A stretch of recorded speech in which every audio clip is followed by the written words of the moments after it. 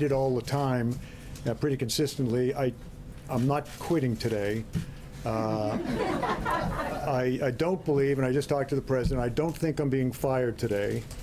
Um, and uh, I am not so frustrated in this job that uh, I'm thinking of leaving. So uh, unless things change, I'm not um, quitting, I'm not getting fired, and uh, I don't think I'll fire anyone tomorrow.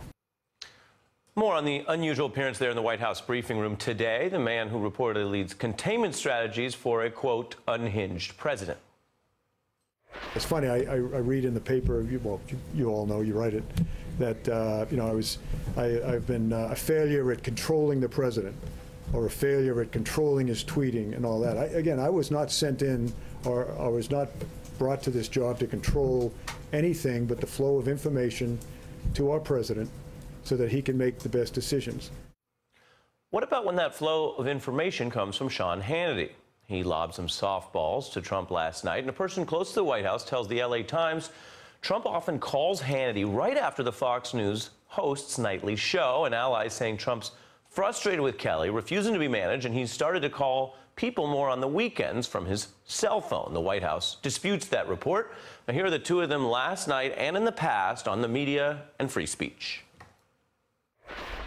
Media is bad. They're really dishonest people. I call it fake media. It's fake. fake it's news. so much fake news. And we have you agree to with that fake news? Truly dishonest people in the media and the fake media. The alt radical left propaganda destroy Trump media. They're on a mission to take down President Trump. I called the fake news the enemy of the people, and they are. They are the enemy of the people. Journalism is dead. You guys are done. You've been exposed as fake. Fake media, fake news. And for a president who can't seem to get on the same page with many people in his cabinet, he does sound unified with his friend Sean. Your communities are being hurt because of illegal immigrants, crimes, and drugs that are coming across the border. We will get the criminals out, the drug lords, the gang members. We're getting them out. Obamacare itself is a single fundamental, massive, big government failure. Obamacare was one of the biggest broken promises in the history of politics. When it comes to recognizing the violence that took place, and both sides were involved in the fighting. Do you think there's blame? Yes, I think there's blame on both sides. Americans don't want to see the flag and the national anthem disrespected. For people to disrespect that by kneeling during the playing of our national anthem, I think is disgraceful. I'm joined by Maya Wiley, a former counsel to the mayor of New York, now at the New School, and Margaret Carlson, a columnist for the Daily Beast. Uh, Maya, is this the secret chief of staff that uh, that you know Sean Hannity's the the chief of staff Trump never had? He's just the BFF Trump never had, I think, which is to say, uh, Donald Trump has always demonstrated that he is particularly interested in people who make him feel good about himself. I think what we've seen is Hannity has done that repeatedly by not, by, as you said, throwing him softballs and generally supporting him no matter what he says or does, unless DACA it departs from some fundamental conservative belief that Sean Hannity has, but otherwise has been one of his closest allies in the news media.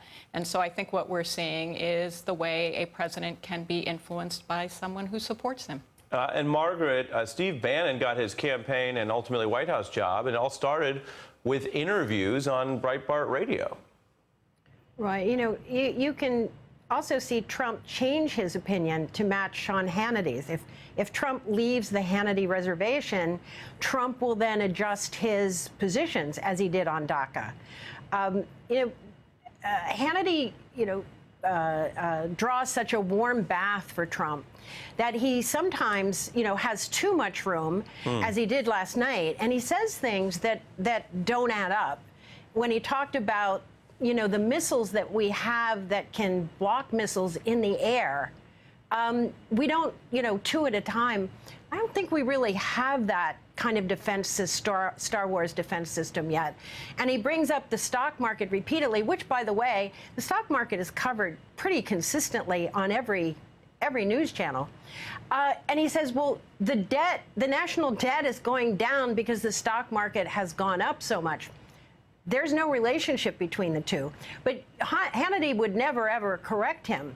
But this bromance, you know, doesn't work for Trump because he needs a John Kelly, as we saw at the beginning. He doesn't need a Sean Hannity. He needs somebody who, who brings him in within the guardrails, not lets him roam all over the place. Well, Margaret, you make the great point that the relationship between Hannity and Trump is uh, much closer than the relationship uh, between our debt and our stock market. Um, here they were at the end getting, getting really, you know, romantic. I will say this. You have been so great, and I'm very proud of you. And, you know, I'm a ratings person. You notice I always talk. Okay. Has anyone seen his rating? I'm very proud of you. And it's an honor to be on your show. I have to tell you that, Joe. First of all, Margaret, you never sign off our interviews like that. No, I have to tell you, I know Ari, you're not it's proud. such an honor. You're just Yes. not proud, and that's Very fine. You don't have to be proud. You know, I don't know you that well, uh, but I know you well enough to make that joke. Margaret, what do you see there in the strategy of a president working with uh, an ally in the press there who are both so committed, as we showed in the lead, to really degrading the factual reporting that's going on, in which we've seen a lot of Americans, he's talking about ratings, we've seen a lot of Americans embrace a lot of journalism since Trump's election, uh, Washington Post, New York Times, ProPublica, and a lot of other places, because facts are so important right now. Uh, Your view of that part of this?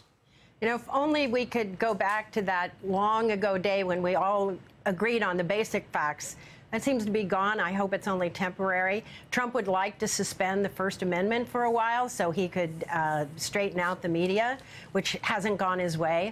You know, uh, can I bring up when John Kelly said today, I'm not so frustrated. I'm not so frustrated that I'm thinking of leaving. Uh, back to you, Ari. If I said, Ari, I'm not so frustrated that I'm thinking of never being on your show again, I could be that frustrated. Yeah, right? it's, a, it's a tell. it- it's a it's a linguistic tell. Uh, yes, it was. Yes, it was. Um, uh, that was not fake news. There we had John Kelly right in front, in front of us, except to the extent it might have been a hostage tape where he was sent out to say these things. Well, it, it had echoes of Sean Spicer, uh, Maya, although I will say uh, John Kelly is generally a more responsible and factual steward, uh, although I was criticizing some of what he said earlier in the show. But it had that same thing of the Spicer thing where he'd be marched out there, and you got the feeling he just came out of a, a yelling Oval Office. And we know they've been shouting, be, be, if you believe the LA Times report, that, they're, that Kelly's in a shouting match with him about, about these things. Absolutely, but I, I don't think anyone takes a chief of staff job uh, for a president of the United States and expects not to be yelled at once in a while. Sure. And I don't think that's enough to make a John Kelly quit. Uh, I think it's a more pertinent question whether Donald Trump is going to go after Kelly and try to push him out. That's actually a different issue from whether John Kelly Right. himself will step back. But it's it's a hot seat job. Um, and he's a person who can take the heat, so I think it would be wrong to count him out. Yeah. yet. Uh, Maya Wiley and Margaret Carlson, thank you both. Coming. Hey there, I'm Chris Hayes from MSNBC. Thanks for watching MSNBC on YouTube. If you want to keep up to date with the videos we're putting out, you can click subscribe just below me or click over on this list to see lots of other great videos.